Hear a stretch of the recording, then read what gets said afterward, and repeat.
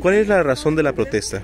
Este, pues estamos pidiendo la entrega de equipo de ropa de trabajo de los compañeros de incendio forestal, que pues no se ha entregado para esta temporada que se, de este año. Es un equipo que se debería haber entregado el año pasado, como en octubre, pero pues, no se ha entregado y los compañeros pues no tienen el equipo ahorita adecuado para salir a combatir los incendios forestales.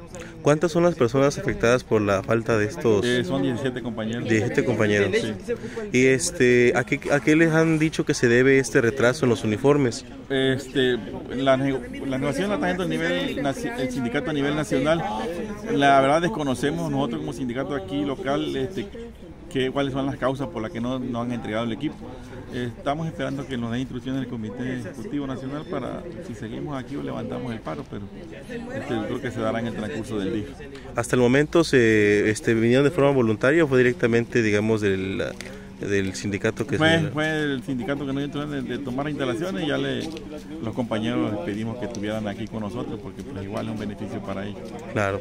Y en este caso, este, ¿qué respuesta, bueno, qué han escuchado o qué les han dicho por parte del sindicato sobre este de estas negociaciones? Eh, Porque ya están en negociaciones que pues van por buen camino. Igual este, en el transcurso ahorita del día esperemos que tengamos buena respuesta y para poder levantar la, la, la manifestación y poder abrir instalaciones ya que los compañeros ingresen a laborar. Y en este caso, este, ¿qué problemas puede significar el no traer sus uniformes?